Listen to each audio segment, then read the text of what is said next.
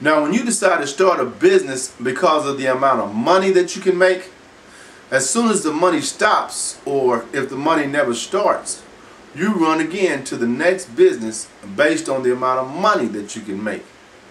I did it for years. It's a vicious cycle.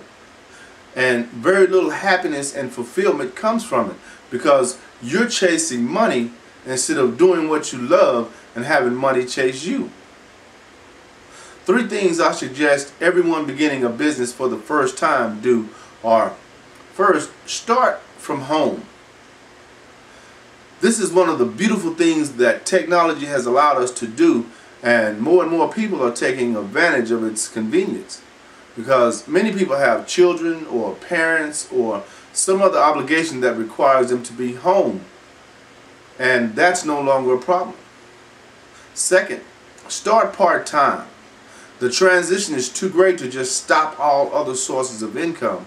So until you begin to replace your income from your business, begin part-time. And finally, start to gain as much knowledge as possible about your passion, or in this case, your business. Because those two words are going to become interchangeable, your passion and your business.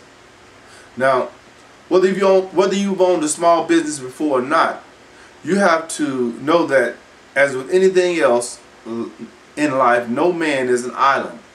And you will need customers and clients. So the better you're able to build rapport with your prospective clients, the more opportunities that will become available to you. Does that make sense?